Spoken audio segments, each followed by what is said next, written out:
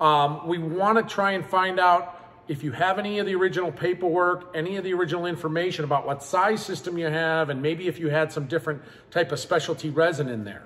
If you know for sure you have standard resin and you just simply don't know the size you have, we can help determine that based on the size of the resin tank. So we would need to get, a, say, a picture of the placard down near the bottom of the tank. Uh, you may have a cover on it that you have to remove or you have to look around the back. But that placard is going to give us the manufacturer's information to tell us what size tank it is, and then we can determine the amount of volume of resin that you need to purchase. Now, inside of there, the resin that's in there generally is going to last 12 to 15 years. Now, some municipal supplies now that, you know, all of them have to chlorinate the water to make it safe. Some have started switching to chloramines over the past, say, five or 10 years. That will significantly shorten the life of any water softener resin. Now, our Genesis line uses Aldex 10% resin, which is a much more durable resin. Now, that will help increase the life of it, but eventually the chlorine, the chloramines especially, are going to get to that resin. And even iron levels, you know, up to two parts per million, a softener can handle it, but it does start to shorten the life of the system. So, with that being said, we want to determine how much you need, what type, and um, then get you the supplies that you, you need. Now, inside of here is not just resin. Two thirds of this tank is filled with resin, but going down the center is a riser tube. The water is going, that goes into your house is going to be on one side of this tube, and the water that goes through the resin is on the other. With, with softeners, to replace your resin and not replace your riser tube doesn't really make a lot of sense. Um, your riser tube can also be affected by chloramines. It's plastic. Chloramines will break down plastic resin beads as well as the plastic screen that's on the bottom. So this is your bottom distributor. It has slats in it so the water can pass through but not the resin. Over time, this, this, this can get brittle, okay? And if it gets too brittle and the water pressure pushes the resin up against it or even the gravel underbedding, you can get it to crack and then the resin gets on the wrong side of the tube and ends up in your house.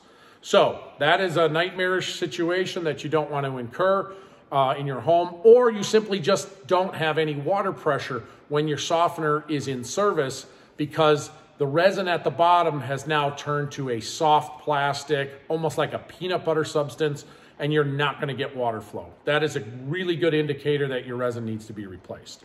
So when you're doing this, first and foremost, let's determine if you do need new resin, how much do you need, and then um, whether or not you're going to be able to tackle this project on your own.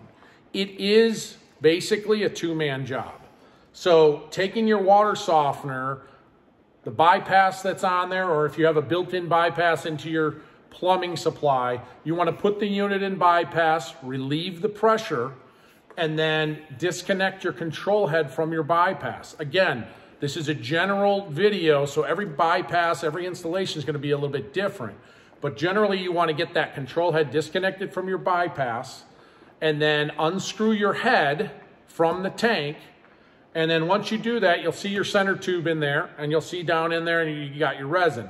Now, turning that tank over or siphoning, you can siphon some of the water out or you can simply, with another person, turn that tank over, maybe if you can get it outside, um, and generally what you want to do is get it turned over and get um, a couple of Rubbermaid bins is usually a good way to do it, maybe two or three of them, and have two guys uh, hold it upside down or turn it on its side and you can use a hose to put water up in there and kind of force the resin out. But it is a, a, a, a tough task. So two people is definitely recommended. And then once you get that riser tube out, it's not connected to the bottom, it's just sitting in there loosely. Uh, once you get that riser tube out, you get all the resin out. You want to determine, do you want to replace it with basic 8% resin or 10% resin? Um, when we sell our systems, again, our Genesis come with 10%. You can get a basic 8%. If you're on a private well, you don't necessarily have to get 10%. But when we sell our uh, rebeds, we usually uh, always recommend you get a funnel. This will make life a lot easier when filling it. We, it also comes with a cap. So when you go to take out all your resin and you replace your riser tube, you're basically gonna cut it to the same length as your old riser tube. So when you receive it, it's gonna be longer than what you need. You're gonna cut it nice and flush, kind of clean up the edges, put it back in the tank, and you're gonna have to put one of these caps in the riser tube because what you don't want is to have resin go down into that riser tube and actually cause an issue with the resin getting on the other side. So that cap is gonna be important to uh, block that resin from going in there. Now that's just gonna be temporary. So once it's in the tank, you put your uh, riser over it and you're going to um, fill the tank. I have one here. I'm gonna bring it in.